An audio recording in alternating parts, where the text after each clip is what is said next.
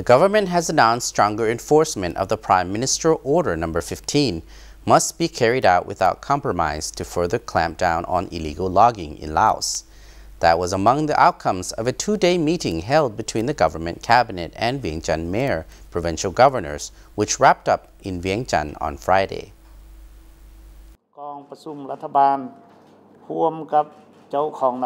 Minister to the Prime Minister's office and government spokesman Dr. Chaleun Yiapaoher was addressing a press conference on Friday highlighting the outcomes of the cabinet provincial governors meetings which outlined targets to be accomplished for the rest of this year.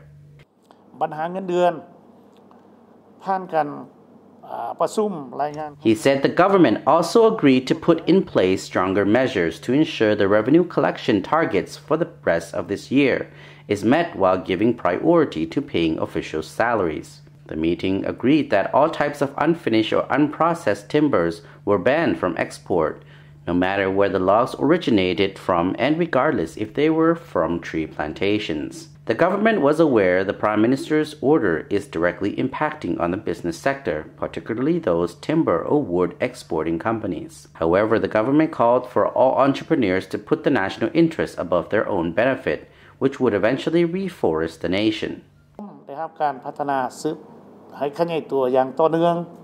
Dr. Chaleun said, hopefully the business sector will enhance their patriotism and love their nation more than anything else by conserving the country's forests which serve as a fundamental factor for economic development and livelihood improvement of local people.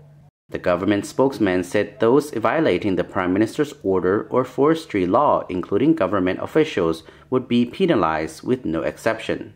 The government also called on local villagers to report any cases of illegal logging so authorities could address the issues promptly.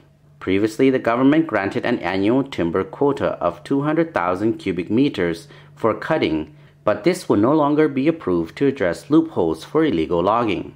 Most sectors and local people have expressed their support for pursuing the Prime Minister's order. Those at the meeting agreed to further disseminate the Prime Minister order to ensure all government sectors, businesses, and local people understand it properly and are willingly to implement it. Relevant sectors have been delegated to inspect timber left in forests and factories, plus examine whether timber quotas approved by the government in the past have been logged properly in designated areas. Concerning financial liquidity, the government was aware the nation continued to encounter financial difficulty and directed relevant sectors to enhance their efforts and responsibilities to collect revenue by clearly defining sources of revenue and how they would collect it all. Tax tariff exemptions on fuel and vehicles must be reviewed and vigilantly considered to avoid loopholes, and their future authorization must be approved by the National Assembly.